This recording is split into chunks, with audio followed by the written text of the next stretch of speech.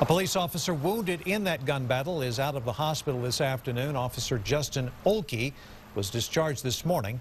The gunman shot him in the calf. Hospital officials today did not immediately update the condition of Barbara Holdsworth of Houston. She was last reported in serious condition after she was shot in the shoulder. The bullet hit her as she was helping her daughter move into a nearby home.